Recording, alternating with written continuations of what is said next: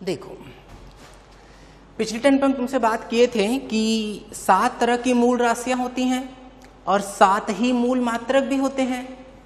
तो आज देखो, हम उसके आगे बढ़ाना शुरू कर रहे हैं कि कौन सी वो मूल राशियाँ हैं, कौन से उनके सीजियस मात्रक हैं, कौन से उनके एसआई मात्रक हैं, और उनको हम लोग किस तरीके से रिप्रेजेंट करते हैं देखो, देखना ध्यान से, इधर बात करते हैं हम लोग। पहले हम तुमको समझाते हैं किसके बारे में, मूल राशियों के बारे में। देखो, मूल राशियाँ कौन कौन सी? लंबाई, द्रव्यमान, समय, विद्युत धारा उष्मा गतिक ताप मतलब एक्चुअली में ये टेम्परेचर ही है, ताप, पदार्थ की मात्रा और ज्योति तीव्रता, ठीक है? तो ये इन सात चीज़ें हैं। तुमको हम पिछले टर्न पे बताए थे, फिर हम बता रहे हैं कि फिजिक्स में दुनिया भर की चाहे जितनी भी चीज़ें हैं, चाहे जितने भी तरह की फ़िज़िकल क्वांटिटी है, उन सब फ़िज़िकल क्वांटिटी को हम इन सात से रिप्रेजेंट करा सकते हैं, ठीक है? मतलब उन सभी को हम लोग इन सातों से पा सकते हैं। अच्छा दो अलग टाइप की क्वांटिटीज हैं, उनके लिए अलग से बना दिया गया। उनको हम लोग क्या बोल देते हैं? उनको बोला जाता है पूरक राशियाँ, ठीक है? पूरक राशियाँ। तो ये क्या, ये दो अलग से हैं, ठीक है? तो दो पूरक राशियाँ होती हैं तो सात मूल राशियाँ हो गई। इनसे दुनिया भर की जितनी भी सारी राशियाँ पाएँगे, जितनी भी तारे तरह के हम लोग फ़िज़िकल क्वांटिटी को पाएँगे, उन सब भौतिक राशियों को व्युत्पन्न बोल देते हैं। व्युत्पन्न का मतलब क्या हुआ? व्युत्पन्न तुमने ऐसे उत्पन्न समझ लो कि वो इन सातों से उत्पन्न होता है, लेकिन कौन से दो नहीं बना सकते हैं? तो उन दो को हम लोग बना दिए हैं क्या? पूरक राशि, अलग से एक बना दिए कि भाई, ये इन सातों से डिफाइन नहीं हो सकता है। कौन से हैं वो दो? दो तरह के होते हैं। एक होता है समतलीय कोड और दूसरा है घन कोड ठीक है? उनके बारे में बात करेंगे अभी। पहले तो इन सात की बात करते हैं। देखो, लंबाई का सीजीएस मात्रक होता है सेंटीमीटर, ठीक है? इसी लंबाई का एसआई मात्रक क्या होता है? मीटर। और किससे प्रतीक प्रतीक मतलब किससे हम लोग दिखाते हैं? जैसे हम लोग नहीं बोलते हैं कि 10 मीटर तो 10 एम लिख देते हैं। तो जो एम लिखा हो तो समझ जाएँगे कि वो मीटर लिखा हुआ, ठीक है? तो ये उसका प्रतीक हो गया 10 मीटर, राइट, ठीक है? फिर द्रव्यमान, इसका सीजीएस मात्रक होता है ग्राम। तो द्रव्यमान का सीजियस मात्रक हो गया ग्राम। एसआई मात्रक होता है किलोग्राम, ठीक है? प्रतीक क्या है? प्रतीक है केजी, ठीक? समय का सीजियस मात्रक सेकेंड ही होता है। एसआई मात्रक भी सेकेंड होता है। किससे दिखा देते हैं? एस से। जैसे हम बोले कि हम तुम्हारी क्लास दो सेकेंड में खत्म कर देंगे। तो दो सेकेंड तो सेकेंड जो होगा उसको हम लोग केवल टू एस लिख देंगे, ठीक है? जैसे हम लोगों को यहाँ से इस क्लासरूम से बाहर जाने में आठ सेकंड लगते हैं। तो एट सेकंड तो एट एस लिख देते हैं ऐसे, ठीक है? तो ये इस तरह से हुआ। तो ये तरीका हो गया, प्रतीक हो गया सेकंड को दिखाने का, ठीक है? फिर हम लोग बात करें किसके बारे में? विद्युत धारा के बारे में। विद्युत धारा सीजियस मात्रक होता है स्टैट एम्पियर बोलते हैं। एम्पियर तो तुम सुने ही होगे ना? इसको बोल देते हैं स्टैट एम्पियर या कहीं कहीं ना इसको बायोट भी बोलते हैं बायोट ठीक है? हिंदी में भी तुमको ऐसे ही लिखना है। तो स्टैट एम्पियर या फिर बायोट कहीं जगह यूज़ करते हैं।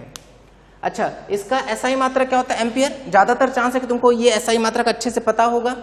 तो विद्युत धारा जिनका नहीं पता, वो तुम याद कर लो अच्छे तरीके से, क्योंकि बहुत यूज़ करना है हम लोगों को। विद्युत धारा तो यहाँ पे एम्पियर किससे रिप्रेजेंट कर देते हैं? प्रतीक क्या उसका? कैपिटल ए ठीक है? तो बड़े वाले ए से दिखाते हैं। उष्मागतिक ताप ताप ही है। तापमान नहीं था कि डिग्री सेल्सियस हम लोग तापमान निकालते हैं या केल्विन में निकालते हैं कहीं कहीं जगह फॉरेन हाइट में निकालते हैं तो ये सब इसके क्या है, मात्रक हैं। तो डिग्री सेंटीग्रेड कैसा मात्रक है? सीजीएस मात्रक है। कैसे दिखाते तुम शायद याद भी हो, देखे भी होगे, ऐसे लिखते हैं। ठीक है? जैसे नहीं, सत्ताईस डिग्री सेल्सियस तो ऐसे लिखाता है, ट्वेंटी सेवन डिग्री सेल्सियस, ऐसे लिख देते हैं। ठीक है? अच्छा। अब ध्यान दो, केल्विन इसका ऐसा ही मात्रक होता है। ठीक है? तो केल्विन के देखो नोटेशन भी उसका के ही है। ठीक है। फिर आता है लास्ट में सेकेंड लास्ट है। पदार्थ की मात्रा। पदार्थ की मात्रा का सीजीएस मात्रक क्या है? मोल। M K S sorry SI मात्रक भी क्या है? मोल। ठीक है? लेकिन प्रतीक क्या है? एम ओ एल है। जैसे मान लो तुमसे बोले कि हमारे पास अच्छा ये तुम ध्यान दियो पदार्थ की मात्रा ये है जो हम लोग केमिस्ट्री में यूज़ करते हैं बहुत ज़्यादा। ठीक है? तो ये केमिस्ट्री वालों के यूज़ में आता है। हम लोग के यूज़ में बहुत कम आएगा। एक दो चैप्टर में यूज़ करते हैं। वैसे इसको नहीं ही यूज़ करते, ठीक है? पदार्थ की मात्रा, मोल, जैसे हम तुमसे बोले ना कि पाँच मोल हमको ऑक्सीजन चाहिए तो एमओ एल लिखते हैं, ठीक है? तो पाँच मोल तो जब लिखना होगा तो एमओ एल लिखेंगे। पढ़ते मोल ही हैं तो एम ओ एल ही लिखने का तरीका है एमओ एल ज्योति तीव्रता आखिरी बार आ रहा है। मतलब अब तुमको इलेवन, ट्वेल्थ की ज़िंदगी में ये तो तुमको कभी नहीं मिलेगा, ठीक है? तो ज्योति तीव्रता, पढ़ लो, रट लो और उसको भूल जाओ, कोई मतलब नहीं ज्योति तीव्रता का। ज्योति तीव्रता का सीजीएस मात्रक होता है स्टिल्स। स्टिल्स, देखो हम लिख दे रहे हैं एक बार। हिंदी में भी लिख देते हैं। स्टिल्स। ठीक है तो ये इस तरह से। स्टिल्स, एसआई मात्रक क्या होता है? एसआई मात्रक होता है कैंडिला। ठीक है? और प्रतीक क्या है, कैसे दिखाते हैं इसको? तो इसका प्रतीक है सी डी सी रिप्रेजेंट करते हैं, ठीक है? तो ये हम तुमको क्या बता दिए? ये हम तुमको बता दिए पूरी तरह से सात मूल राशियों के बारे में, ठीक है? अच्छा अब बात ये आती है कि सर हम लोग इन दोनों में से कौन सा मात्रक यूज़ करते हैं? तो बोले सीजीएस मात्रक नहीं यूज़ करते हैं। तुमको याद हम बताए थे कि सीजीएस मात्रक उतना यूज़ में नहीं आता रटना है, ये नहीं कि रटना नहीं है, लेकिन हम लोग याद रखना इलेवन ट्वेल्थ में जब भी क्वेश्चन करेंगे ना तो अपना दिमाग एकदम क्लासिफाइड किए रखेंगे कि नहीं हम लोग को हर फ़िज़िकल क्वांटिटी हर भौतिक राशि को ही मात्रक में ही प्रयोग करना ठीक है? तुमको हम पिछले टर्न पे बताए थे कि ही समझो जैसे मोहल्ले का दादा टाइप का है कुछ, कि जो बोल दिया वो हम लोग को मानना पड़ता है, ठीक है?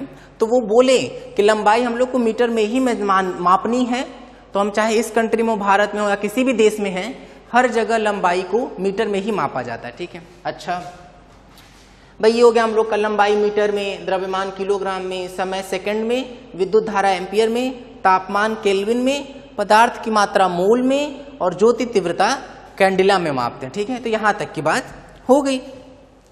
तो इन सात राशियों से हम लोग किसी भी राशि को पा सकते हैं। ठीक है? तो ये तो हो गया भाई मूल राशियों और मूल मात्रकों के बारे में बात। अब आगे बढ़ रहे हैं।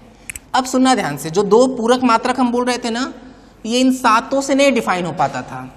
क्योंकि जो जो डिफाइन हुए थे, उसको तो हम लोग व्युत्पन्न राशियाँ बोल दिए थे ना?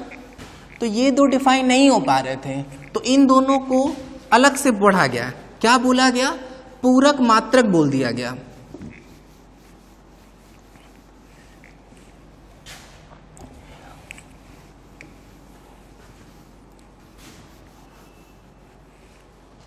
देखो, दो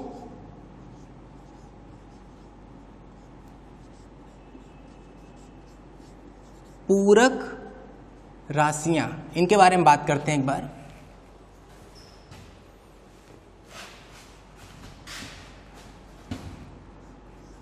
पहला है,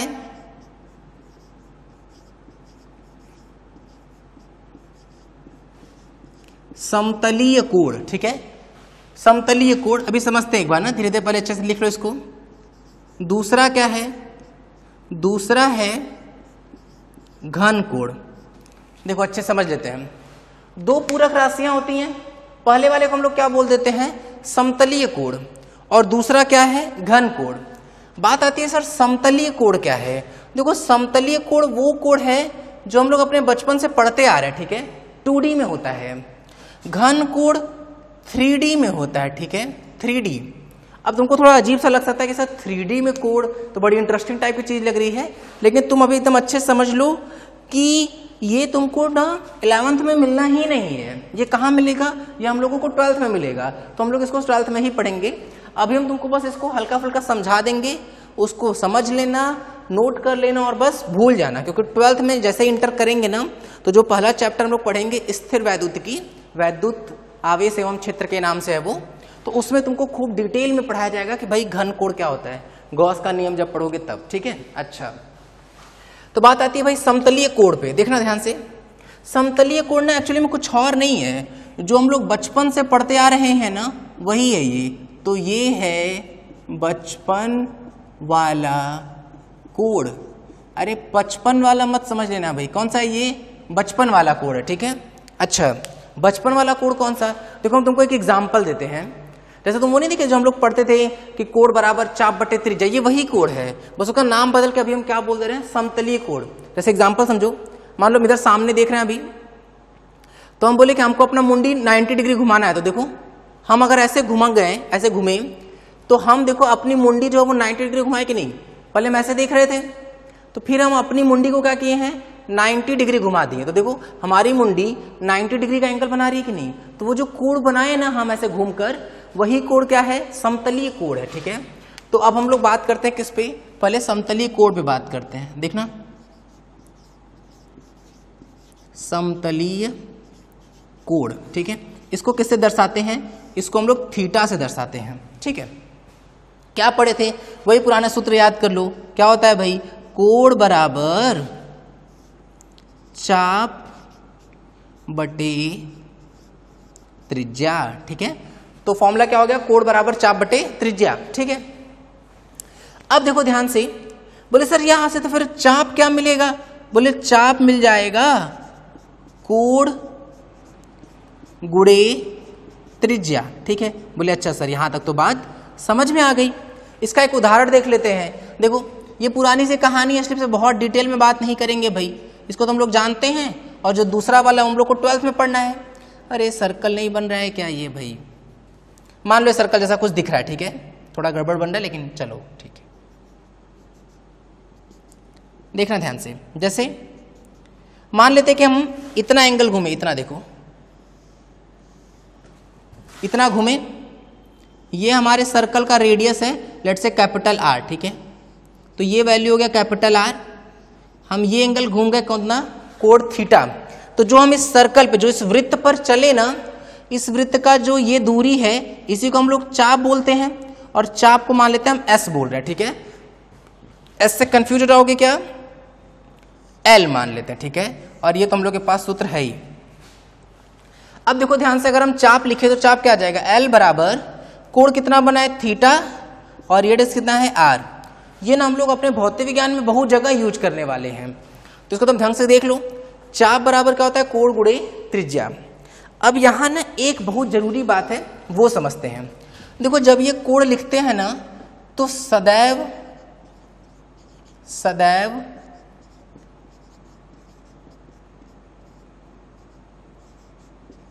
रेडियन में लिखते हैं, सदैव, याद रखना एकदम, ठीक है? अच्छा अब तुम्हारे दिमाग में आ सकता है कि सर, अगर इसको रेडियन लिखना तब तो हम लोग बचपन से तो इसको डिग्री में पढ़ते हैं, बिल्कुल सही बात है। डिग्री में पढ़ते आए हैं, लेकिन जब भी इस फॉर्मूले में यूज़ करना होता है ना तो इस फॉर्मूले को लगाते हुए एकदम रट के रखो कि यहाँ पे फॉर्मूला तभी यूज़ करना है जब भी कोड किसमें होगा? रेडियन में होगा, ठीक है? इसको हम गायब कर दे रहे हैं। इन दोनों को भी गायब कर दे रहे हैं। इस हेडिंग को भी गायब कर दे रहे हैं, ठीक है? तो ये यहाँ तक की कहानी है भाई, कि याद रखना कि कोड जो होता है वो सदैव रेडियन रखना होता है। पुरानी बात कुछ याद की जाए क्या? याद करो तो भाई तुमको अच्छे से सिखाया भी क्या होगा? नहीं याद है तो इसको लिख लो और याद भी कर लो। क्या होता है कि भाई pi radian equals to sir 180 degree होता है। बोले हाँ सर सही बात है। तो पाई रेडियन इक्वल कितना आ गया बताओ 180 डिग्री अच्छा जो ये रेडियन लिख रहे हैं ना, इसको शॉर्टकट में ना सी बोल देते हैं। पाई सी इक्वल 180 डिग्री ठीक है? ये जब इसको हम लोग बदलते हैं ना, कई बार जब एंगल से रेडियन में या रेडियन से एंगल में जाते हैं ना तो ये बहुत काम में आता है, ठीक है? इसको अच्छे से लिख लो, याद भी रखना है। अच्छा बच्चों को जो कन्फ्यूज़न हम उस पर बात करते हैं ना, कई बार बच्चे कंफ्यूज होते हैं तो हम उसको ना एक उदाहरण से समझाने की कोशिश कर रहे हैं। उदाहरण, ध्यान देना तो। पाई का छोटा छोटा लिख दिए, क्या भाई? दिख रहा है कि नहीं? पाई का मान होता है। इसको बहुविकल्पी बना देते हैं। ऑप्शन दे रहे हैं, देखना ध्यान से। पहला है 180 डिग्री। दूसरा है 180 रेडियन। तीसरा है 3.14 चौथा है 3.14 डिग्री चलो, एक मिनट के लिए वीडियो पहले पॉज करो और ध्यान से सोचो। देखो, जब हम बोलते हैं ना वीडियो पॉज करने के लिए तो तुम ज़रूर से वीडियो पॉज करके एक बार क्वेश्चन को अटेम्प्ट किया करो। देखो, इससे क्या फ़ायदा का वो हम बताते हैं। सोचो, अगर क्लास में होते और हम बोलते कि वीडियो पॉज करो मतलब हम तो क्लास में कैसे बोलेंगे? मतलब तुम क्लास में होते हम तुमसे बोलते हैं, हम कोई क्वेश्चन देते हम यही ना बोलते कि हम आगे नहीं बता रहे, पहले तुम क्वेश्चन अटेम्प्ट कर लो। तो क्वेश्चन तो पहले हम अटेम्प्ट करते कि नहीं? जब तुम अटेम्प्ट करते हो क्वेश्चन को तो उसमें हम लोग को कुछ ना कुछ चीज़ें नहीं मिल जाती। या तो हमसे वो क्वेश्चन हो जाता, बहुत अच्छी बात है तब तो। या हो सकता अगर नहीं होता तो तुमको ये तो क्लियर होता ना कि अच्छा ये जो कॉन्सेप्ट बताया गया, वो समझ में नहीं आया। तो तुम फिर से क्या करते? कॉपी पढ़ते या कुछ जुगाड़ लगाते या किसी से डिस्कस करते या हमसे पूछते? अब अभी हम तो नहीं तो तुम क्या कर सकते हो? अगर मान लो तुम वीडियो रोके क्वेश्चन अटेम्प्ट किए, बन गया तो बहुत बढ़िया। नहीं बना तो क्या करोगे? फिर वीडियो में पीछे जाओ, ठीक है? फिर से जहाँ से हम ये टॉपिक स्टार्ट किए, फिर से उसको देखो और फिर क्वेश्चन अटेम्प्ट करो। जहाँ का भी वो टॉपिक हो क्वेश्चन का, उस टॉपिक को फिर से देखो और फिर से क्वेश्चन अटेम्प्ट करो।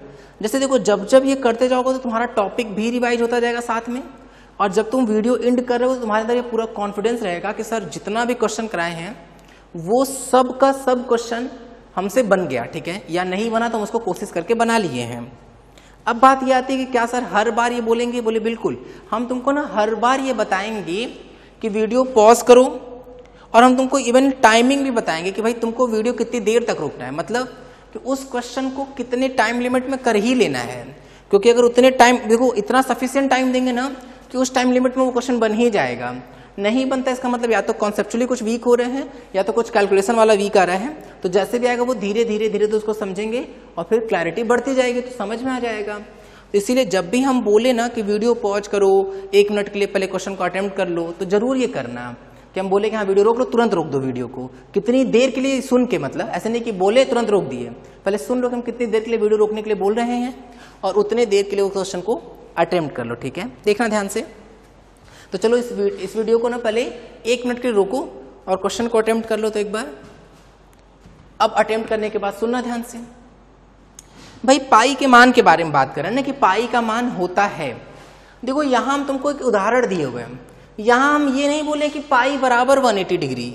हम बोले पाई रेडियन बराबर 180 डिग्री। कभी भी पाई जो है, वो 180 के बराबर नहीं था। गलत है ये। देखो, ये लिख रहे हो तो एकदम गलत है। पाई कभी भी 180 के इक्वल थोड़ी होता है। गलत है भाई। पाई रेडियन 180 डिग्री के इक्वल होता है। बात समझ में आ रही है? बोले अच्छा सा देखो ध्यान से। तो पाई रेडियन जो था, वो तो 180 डिग्री होता है। बट लेकिन, अगर हम बात करें कि भाई पाई के बारे में बात करते हैं तो सुनना ध्यान से। जो पाई होता है, इसकी खुद की वैल्यू कितनी होती है? 22 टू बाई सेवन बाईस बटे सात। और इसको डिवाइड कर देंगे, कितना आ जाएगा? तीन दशमलव एक चार आएगा। तो जो पाई का मान होता है ना, वो होता है तीन दशमलव एक चार। तो इसका कौन सा ऑप्शन सही हो जाएगा? तीसरा सही हो जाएगा, ठीक है? तो ख्याल रखना कि पाई रेडियन 180 डिग्री होता है, कभी भी पाई 180 के बराबर नहीं होता है। पाई का जो एक्चुअल मान है, वो कितना होता है? बाईस बटे सात। और बाईस बटे सात निकालेंगे तो कितना आता है? तीन दशमलव एक चार आता है, ठीक है? तो ये हम लोग किसकी बात कर लिए अच्छे से? समतलीय कोण के बारे में, ठीक है? तो ये तो हम लोग को क्लियर हो गया भाई कि ये रही समतल कोण की कहानी। अब बात आता है किसके बारे में बताओ? सेकेंड वाले के बारे में, कि दो दूसरा पूरक राशि है, वो क्या था बताओ? वो था घन कोण। तो अब हम लोग घन कोण को समझते हैं। देखो, घन कोण जो है ना, हम तुमसे बताए ना, कि जब गॉस का नियम हम लोग बारह में पढ़ रहे होंगे, तब वहाँ बहुत अच्छे से बताया भी जाएगा, खूब सारा क्वेश्चन कराएगा तो ज़्यादा समझ में भी आएगा, ठीक है? तो अभी जो हम तुमको बता रहे हैं वो बस लिख लो, अच्छे से समझ लो। समझ में तो थोड़ा कमी आएगा, अच्छे से नहीं समझ पाएँगे, लेकिन कोई बात नहीं। देख लो, कॉपी में लिख लेंगे, रट लेंगे और वहाँ लिख लेंगे कि इंतज़ार करेंगे। कब का बताओ? ट्वेल्थ का। जैसे ही ट्वेल्थ आएगा, तुरंत ये चीज़ क्लियर हो जाएगी। देखो, पहले घन कोण को किससे दर्शाते हैं? इसको दर्शाते हैं उमेगा बोलते हैं इसको, उमेगा। उमेगा।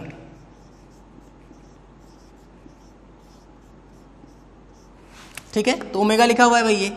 इसको ओमेगा मत पढ़ लेना। मेघा नहीं, गा है। ओमेगा, ठीक है? अब देखो।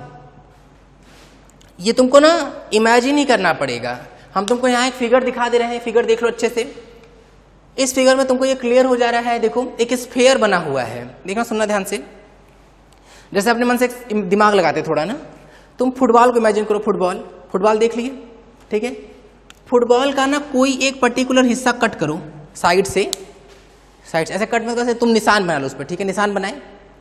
अच्छा तुम जब निशान बनाओगे तो वो जो निशान है, उसके किनारे किनारे जो है, उन सबको अगर हम उस फुटबॉल का कोई ना कोई केंद्र होगा कि नहीं? सबको अगर हम केंद्र से मिला दें तो तुम देखो एक आइसक्रीम जैसा दिख रहा है कि नहीं? आइसक्रीम का कौन टाइप का। आइसक्रीम का कौन जैसा दिख रहा है, या जिसमें हम लोग दाना वीना खाते हैं, वो वाला कुप्पी टाइप का दिख रहा है।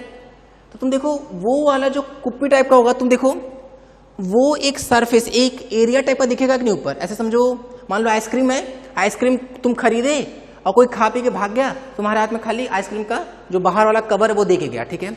अब अगर तुम ऐसे बाहर से देखोगे तुमको एक एरिया ऐसा दिखाई देगा कि नहीं ऐसे, ठीक है? और पीछे जाके कहीं ये कोन खत्म हो रहा होगा तो देखना, ऐसे कुछ होगा। देखो, हम हल्का फुल्का बनाने की कोशिश कर रहे हैं भाई। थ्री में है तो तुमको खुद ही समझना पड़ेगा बहुत बेहतर तरीके से।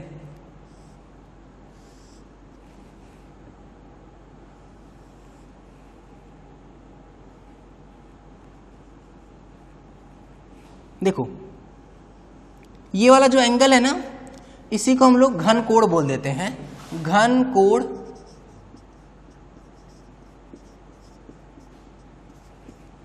ठीक है? और ओमेगा का फॉर्मूला क्या होता है? ओमेगा का फॉर्मूला था जो ये सरफेस है ना, जो ये कट किया हुआ है, जो आइसक्रीम लेके भाग गए तो जो ये ऊपर वाला सरफेस दिखेगा सर्कुलर या वृत्ताकार टाइप का, अगर उसका एरिया हम ए लिख रहे हैं तो ओमेगा का सूत्र होता है ए बटा, अगर त्रिज्या आर है तो ए बटा आर स्क्वायर होता है, ठीक है? ये होता है घन कोण का सूत्र। लिख लो नोट कर लो और बस भूल जाओ, एक साल का इंतज़ार कर दें, उसमें समझ में आएँगी चीज़ें, ठीक है? फिर से देखो एक बार। आइसक्रीम है, आइसक्रीम वाला पोर्शन खाली कर देंगे। तो जो आगे वाला पोर्शन खाली हुआ है पूरा तो तुम देखो, वो उसके सेंटर पे जाके, केंद्र पे जाके, कहीं एक छोटा सा एंगल बना रहा होगा कि नहीं? एग्ज़ाम्पल दिखाते हैं। देखना। देखो जैसे हम ये लाए। देखो ये जो कोन है देखो, ये नहीं आइसक्रीम गायब तो देखो, ये पर्टिकुलर जो एरिया है, वो इस सेंटर पे जो एंगल बना रहा होगा, जो वो अंदर से दिखेगा हम लोग को एंगल ना, उसी एंगल को हम लोग क्या बोल देते हैं? घन कोण, ठीक है? अच्छा ये थ्री में है, एकदम साफ़ दिख रहा है, इसीलिए हम लोग इसको क्या बोल देते हैं? इसको बोलते हैं थ्री वाला कोड ठीक है? कि ये थ्री टाइप में होता है, ठीक? समझ लो? बाकी ट्वेल्थ में खूब अच्छे से डिटेल में समझना है। तो अभी बेसिक बेसिकली इतना बहुत है। चलो। आगे बढ़ रहे हैं हम लोग। देखो। अच्छा अगर हम एनसीईआरटी के हिसाब से बात करें ना तो अब हम लोगों को दो मेजर टॉपिक पढ़ने हैं। वैसे सही से देखा जाए तो पढ़ने तो तीन है। पहले दो मेजर टॉपिक कौन कौन से हैं? एक है त्रुटि, दूसरा है सार्थक अंक। क्या है? उस टाइम पे हम लोग देखेंगे अच्छे से। तीसरा जो टॉपिक है वो है वीमा, ठीक है?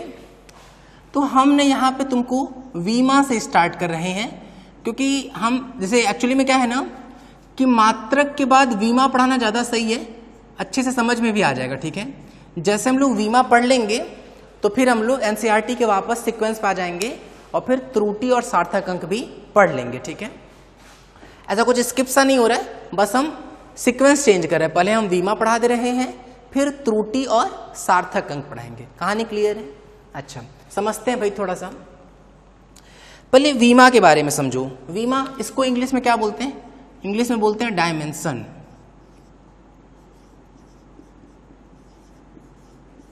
देखना ध्यान से। देखो, वीमा क्या चीज़ है ना? वीमा कई अलग अलग चीज़ों को मात्रक के तरीके से एक कर देती है। जैसे कई अलग चीज़ें जैसे हम तुमसे बोले कि मान लो एक रूम है, इस कमरे की कुछ न कुछ लंबाई है, कुछ न कुछ चौड़ाई है, और कुछ न कुछ ऊंचाई या गहराई होगा ऐसे। तो लंबाई, चौड़ाई और ऊंचाई में एक चीज़ तुम करते देख रहे हो, जैसे हम तुमसे बोले कि दो मीटर लंबा, एक मीटर चौड़ा, आधा मीटर ऊँचा। तो तुम देखो, हर में, सब में, तीनों में मात्रक वही है कि नहीं? जो कि ऑल दो कमरे में लंबाई अलग चीज़ होती है, चौड़ाई अलग, ऊंचाई अलग चीज़ होती है, जैसे मान लो हमारे पास एक वृत्त है, या मान लो कोई पार्क है, जिस पार्क में हम गोल गोल में से घूमते हैं गोल गोल ऐसे नहीं सुबह सुबह टहलने जाते हैं जैसे टहल रहे हैं तो हम उसके परिधि पर चल रहे हैं कि नहीं? तो तुम सोचो परिधि क्या होता है? टू पाई आर होता है कि नहीं? जहाँ पे आर त्रिज्या है तो त्रिज्या भी मीटर में होता है तो परिधि भी मीटर में आता है तो तुम सोचो वहाँ भी मीटर, जो कि परिधि एकदम अलग चीज़ है, ठीक है? या मान लो कोई ऐसा पार्क है जो चौकोर टाइप का है, ठीक है? अगर वो चौकोर टाइप का है तो जब हम वहाँ बात करेंगे तो वहाँ फिर से हम उसके परिधि, उसको परिधि बोलना तो ठीक नहीं है। हम उसके परिमाप पे चल रहे हैं कि नहीं? दो बार लंबाई में चलेंगे और दो बार उसके चौड़ाई में चलेंगे। बात क्लियर हो रही? बोले हाँ सर, ये बात तो सही है। लेकिन सोचो इन सब चीज़ को, कौन सब चीज़ों को? ये हम उदाहरण से समझा रहे हैं तुमको। उदाहरण। क्या? कि मान लो हम बात करते हैं किसकी? लंबाई की। फिर हम बात किए चौड़ाई की। चौड़ाई, ठीक है? फिर हम बात किए किसकी बताओ? फिर हम बात कर रहे हैं ऊंचाई की, ठीक है? लंबाई, चौड़ाई, ऊंचाई, परिधि, ठीक है? परिधि, परिमाप, इत्यादि। इन सब चीज़ों के केस में ना यही बात होती है, ठीक है? परिमाप, इत्यादि। तुम देखो, ये सब एकदम अलग अलग चीज़ें हैं। लेकिन फिर भी इन सभी का जो मात्रक है, मात्रक, वो समान है। ठीक है? बोले हाँ सर, ये बात तो समझ में आ रही है। लंबाई 10 metre 5 metre 24 metre 40 metre 50 metre metre metre बार बोल बोलेंगे। क्योंकि हम हर बार ऐसा ही मात्रक को लेके चल रहे हैं। तो मात्रक समान है? क्या है? बोले, मीटर है। प्रतीक एम था तो एम से काम चला रहे हैं। तो ये समझ में लोगों को आ गया, ठीक है, कि अच्छा सर, ऐसी कोई चीज़ है? तो इन सब चीज़ों को एक कर दिया। कौन? बोले, इसका मात्रक। तो मात्रक को बहुत सही से दर्शाने के लिए एक और चीज़ का इजाद किया गया, बीमा, जो कई सारी अलग अलग भौतिक राशियों को एक जगह समान रूप में ले आता है, ठीक है? तो अब हम लोग बात करते हैं किसकी? बीमा की परिभाषा की। देखना कि भाई बीमा की परिभाषा क्या है, उस पर बात करते हैं अब। देखो, सुनो ध्यान से।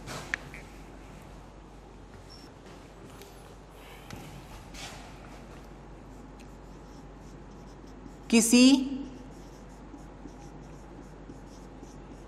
भौतिक राशि की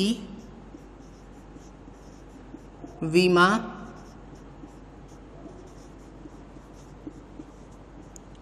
उन घातों को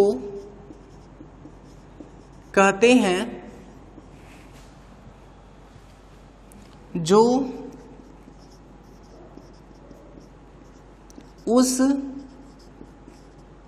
राशि को प्रदर्शित करने के लिए प्रदर्शित करने के लिए, फिर से देखो ध्यान से, किसी भौतिक राशि की विमा उन घातों को कहते हैं जो उस राशि को प्रदर्शित करने के लिए मूल राशियों पर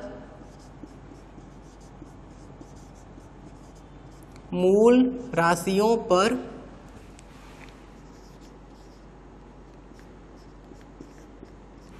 चढ़ानी पड़ती है, ठीक है? एकदम ध्यान से देख लो। यही एक तरीका होगा, यही है बीमा की परिभाषा, ठीक है? बीमा कोई अलग चीज़ नहीं है। बीमा मूल राशियों पे लगने वाले घात के ही बारे में है, ठीक है? कि मूल राशियों की जो है ना, किसी भी भौतिक राशि को दिखाने के लिए मूल राशियों पर जो घात लगाते हैं ना, उसी राशि को क्या बोल देते हैं? विमा बोल देते हैं उस भौतिक राशि की, ठीक है? जैसे उदाहरण देखो। उदाहरण, ठीक है?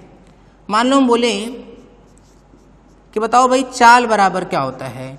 तो चाल बराबर सूत्र क्या होता है बताओ? दूरी बटा समय। सही होता है? अच्छा दूरी एक तरह की क्या है बताओ? लंबाई ही है कि नहीं? लंबाई और समय तो समय है ही बेचारा। अच्छा इसको ऊपर लेके जाओ। तो लंबाई तो वही रहा। कुछ नहीं पावर है, घात है तो उसके हम घात एक लिख सकते हैं। समय को ऊपर लेके गए तो समय की जो भी घात उसका चिन्ह बदल जाएगा।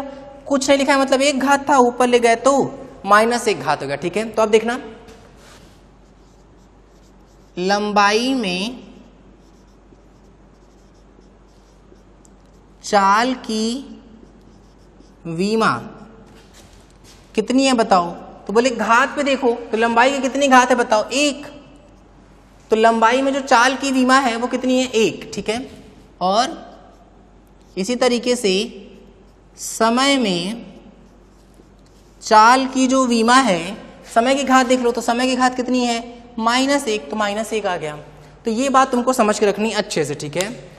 कि अगर हम लोग बीमा की बात करेंगे तो बीमा एक्चुअली में उन भौतिक राशियों पर लगने वाले घात को ही बोल देते हैं, ठीक है? कौन सी भौतिक राशियों पर जो मूल राशियाँ उनकी बात कर रहे हैं? तो किसी भी भौतिक राशि की अगर बीमा बतानी है तो उसको पहले मूल राशियों में बदल लो। मूल राशियों की जो जो घात आई होगी, वही उस भौतिक राशि की क्या बन जाएगी बताओ? बीमा बन जाएगी। ठीक है यहाँ तक? बोले हाँ सर। सही बात है। तो चलो। अब प्रॉब्लम क्या है वो देखना। प्रॉब्लम ये है कि भाई बार बार लंबाई लिखना, समय लिखना थोड़ा कठिन लग रहा था। तो लोग क्या किए ना, मूल राशियों के कुछ विमाएँ बना लिए तो देखते हैं ध्यान से। और उनको फिर हम लोग उस तरीके से बात करेंगे, ठीक है? देखो, विमा, या ऐसे हेडिंग लिख लेते हैं। मूल राशियों की वीमा, ठीक है?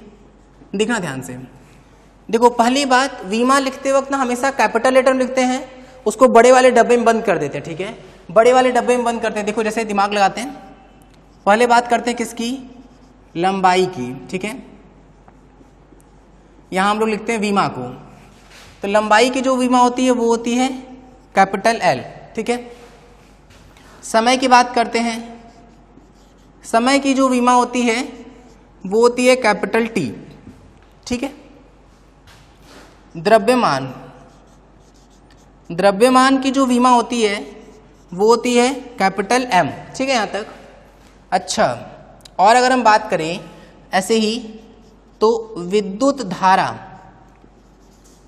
विद्युत धारा की जो बीमा होती है, वो होती है ए।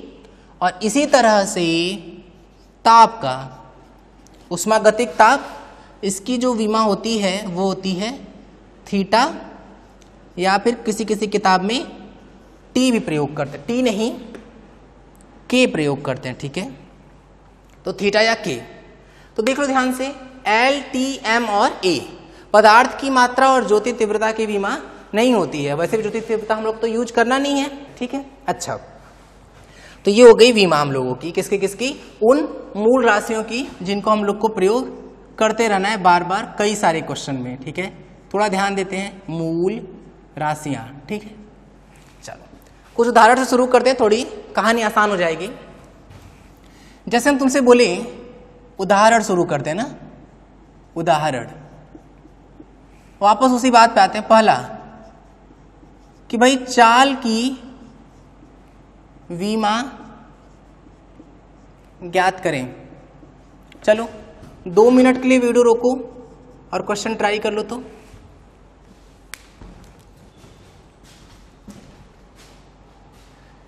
चलो, कर लिए क्या ट्राई देखना। हल करते हैं इसका भाई। सॉल्यूशन चाल बराबर होता क्या है बताओ? बोले, सर, चाल बराबर होता है दूरी बटा समय। आप सोचो दूरी एक तरह की लंबाई है कि नहीं? तो लंबाई का क्या लिखते हैं बताओ? वीमा क्या लिखे हैं? एल और समय का क्या लिखे हैं? टी तो देखो, चाल की जो वीमा है, चाल की वीमा वी इसका वीमा जो है वो कितना आ जाएगा? ऐसे लिख लेते हैं। चाल की बीमा जो आ जाएगी वो कितनी आ जाएगी? एल की पावर एक टी की पावर माइनस एक। मतलब चाल की बीमा लंबाई में कितना है बताओ? लंबाई में एक तथा समय में कितना है? बोले, समय में माइनस एक है। बात समझ में आ रही कि नहीं? बोले, सर, ठीक है। अच्छा। जैसे ये किए ना, वैसे चलो। वेग की वीमा ज्ञात करते हैं। वेग की वीमा ज्ञात करें। ठीक है? चलो, ध्यान दो अब फिर से वीडियो रोको दो मिनट के लिए और क्वेश्चन अटेम्प्ट कर लो एक बार। अब ट्राई करने के बाद सुनना ध्यान से, फिर इसके हल पे आते हैं भाई। अच्छा याद करो तो वेग बराबर क्या होता था? वेग का सूत्र याद है क्या? नहीं याद तो देख लो अच्छे से। वेग बराबर होता है विस्थापन बटा समय, ठीक है? तो विस्थापन बटा समय हो गया भाई। अच्छा विस्थापन बटे समय तब तो समझ सकते हैं हम लोग आराम से। विस्थापन भी एक तरह का लंबाई ही है एल और टी समय का टी हो जाएगा। तो फिर देखो दोबारा से ये एल टी की घाते माइनस एक आ गया कि नहीं? तो देखो, चाल की बीमा और वेग की बीमा जो है वो समान आ गया कि नहीं? अरे क्योंकि ये भी तो एल टी की घाते माइनस एक ही आया था। तो हम दोबारा बोल सकते हैं कि जो वेग की बीमा है, वो लंबाई में एक और समय में माइनस एक है, ठीक है? एक आधा और उदाहरण करते हैं। थोड़ी सी और कहानी समझ में आएगी। देखना।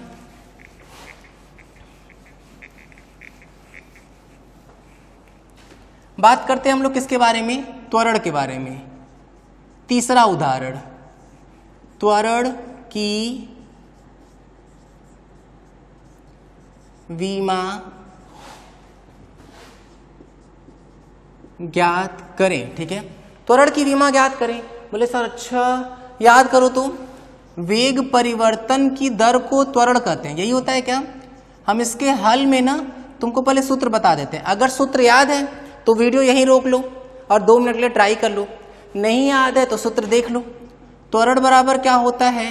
वेग परिवर्तन बटे समय। ठीक है, ये रहा सूत्र। चलो अब दो मिनट के लिए वीडियो रोक लो और क्वेश्चन ट्राई कर लो। अब ट्राई करने के बाद सुनना। अच्छा परिवर्तन का मतलब क्या हो गया बताओ?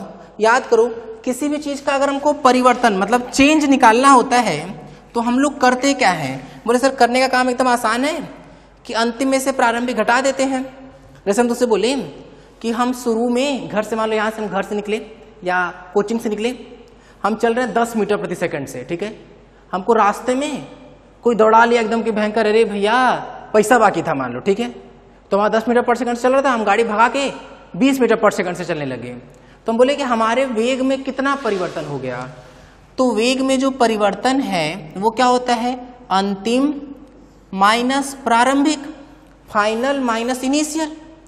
तो बोले, पहले कितने चल रहे थे? दस से। बाद में कितने चलने लगे? बीस से। तो परिवर्तन कितने का हो गया? दस का हो गया कि नहीं? लेकिन अगर तुम ध्यान दो तो इसका मात्रक, रुक जाओ, हम फिर से लिख रहे हैं। पहले चल रहे थे दस से, बाद में चलने लगे बीस से। दोनों का मात्रक कितना? बीस मीटर प्रति सेकेंड और इसका भी कितना? दस मीटर प्रति सेकेंड। जब घटाओगे तो जो बचेगा, वो भी मीटर प्रति सेकंड में होगा कि नहीं? तो यहाँ से हम क्या सीखें? यहाँ से हम सीखें कि चेंज चाहे भले तुम निकाल लो, हो सकता है मान बदल जाए, लेकिन मात्रक तो वही रहेगा। मतलब चाहे जिसका भी परिवर्तन निकाल रहे हैं, मात्रक तो वही आने वाला है। तो यहाँ वेग का परिवर्तन है तो भी कोई फ़र्क नहीं पड़ता है। यहाँ तो वेग की ही विमान आएगी और यहाँ समय की विमा आएगी। समय की विमा तो टी और वेग की विमा लोग निकाले हैं। कितना है बताओ? एल टी की घाते माइनस एक बटा टी ऊपर लेके जाएँगे तो ये आ जाएगा एल टी की घाते माइनस दो। अरे ऊपर जाएगा माइनस एक। माइनस एक पहले से था। माइनस एक माइनस एक जुड़ जाएगा। तो ये किसकी बीमा आ गई बताओ? ये बीमा आ गई त्वरण की। तो त्वरण की बीमा बताओ लंबाई में कितना? बोले, लंबाई में तो सर एक ही है। देखो, लंबाई में एक तथा। बताओ समय में कितना? बोले, समय में माइनस दो है। यहाँ तक की बात समझ में आ रही है? तो ये इस तरीके से क्लियर है ये बात? नोट कर लो इसको। अच्छा एक और चीज़ देख लेते हैं। एक और का बीमा निकालते हैं। अब कौन बच रहा है? देखो, एक बहुत आसान सा है, उसको भी समझ लेते हैं। फिर बाकी हम लोग नेक्स्ट टर्न पे थोड़ी प्रैक्टिस और करेंगे बीमा निकालने पर। चलो फोर्थ देखते हैं। फोर्थ बात करते हैं किसकी? बल की। बल की बीमा ज्ञात करें, ठीक है? देखना सुनना ध्यान से। फिर से ऐसा करो, दो मिनट लिए वीडियो रोको और क्वेश्चन ट्राई कर लो। अब ट्राई करने के बाद सुनना। भाई, बल F बराबर होता क्या है? द्रव्यमान गुड़े त्वरण होता है क्या? याद करो। नाइन्थ में तो पढ़े ही होगे। बल बराबर द्रव्यमान गुड़े त्वरण। तो बोले, बस, विमा लिखना शुरू करते हैं। अगर हम विमा लिखें बल की, द्रव्यमान का क्या था? द्रव्यमान का अगर याद हो तो कैपिटल एम था। वीडियो में पीछे जाके देखो, या तो नोट किए तो वहाँ देख लो। त्वरण की बात करते हैं। त्वरण कितना है? एल टी की घाते माइनस दो। अगर हम इन दोनों का गुणा कर लिए तो ये कितना आ गया बताओ? एम एल टी की घाते माइनस दो हो गया। तो ये किसकी वैल्यू आगे बताओ ये आ गई बल की विमा। अब पूछा जाएगा, भाई, बल की विमा बताओ, द्रव्यमान में कितना? बोले, द्रव्यमान में एक, लंबाई में कितना? बोले, सर, लंबाई में भी एक, तथा समय में कितना? बोले, समय में, सर, समय में कितना बताओ? समय में है माइनस दो, ठीक है? द्रव्यमान में एक लंबाई में तथा समय में समय में माइनस दो है, ठीक है? ये किसकी बात हम लोग कर रहे हैं? बल की बीमा की। अब हो सकता है तुम्हारे दिमाग में आएगा कि सर यहाँ तो द्रव्यमान भी आ गया, यहाँ तो द्रव्यमान नहीं आया था। तो यहाँ पे अगर बोला जाएगा, त्वरण में द्रव्यमान की कितनी बीमाएँ हैं? तो बोले द्रव्यमान है ही नहीं। अरे अगर नहीं है तो भी तुम द्रव्यमान को घाते ज़ीरो लिख सकते हैं कि नहीं? अरे किसी भी चीज़ का घाते ज़ीरो तो एक ही आएगा। तो इसकी घात ज़ीरो हो गया कि नहीं? तो बोले, बस, हो गया खत्म। इसका मतलब ये कि त्वरण में द्रव्यमान की ज़ीरो विमा है, ठीक है? तो जो चीज़ नहीं दिखेगा, उसकी, उस भौतिक राशि में हम लोग उतनी ज़ीरो विमा बोल देंगे, ठीक है यहाँ तक? बस बस करते हैं। बाकी नेक्स्ट टाइम पे तुमको पढ़ाएँगे, इसके आगे। देखो, इस लेक्चर में हम लोग सीखें कि वो जो सात भौतिक राशियाँ हैं, उनका सीजीएस मात्रक क्या होता है? एमकेएस मात्रक क्या होता है? और उनका प्रतीक क्या है, ठीक है? फिर हम तुमको सिखाएँ कि सात राशियों से सब व्युत्पन्न कर सकते हैं। तो उन राशियों को व्युत्पन्न राशियाँ बोल दिया गया। दो राशियाँ उत्पन्न नहीं कर सकते थे तो उनको अलग से पढ़ लिया गया पूरक राशियों के नाम से। कौन कौन से थे वो? एक था समतलीय कोण, दूसरा था घन कोण, ठीक है? फिर हम तुमको बताएँ कि त्रुटि और सार्थक अंक है बीच में, लेकिन हम वीमा पढ़ा रहे हैं। फिर हम लोग सार्थक अंक और त्रुटि पढ़ेंगे। तो वीमा में हम तुमको बताएँ कि वीमा कुछ नहीं है। एक्चुअली में किसी भी भौतिक राशि को प्रदर्शित करने के लिए मूल राशियों पर लगने वाले घात को ही उस भौतिक राशि की वीमा हो जाएगी, ठीक है? फिर कुछ उदाहरण किए। बाकी नेक्स्ट टर्न पे अगेन हम लोग कुछ उदाहरण करेंगे वीमा कैलकुलेट करने पर, ठीक है? चलो बस करते हैं। वीडियो पसंद आया तो इस वीडियो को लाइक करें। हमारे चैनल फिजिक्स बिहाइंड एवरीथिंग को सब्सक्राइब करें और इस चैनल को सभी के साथ शेयर करें।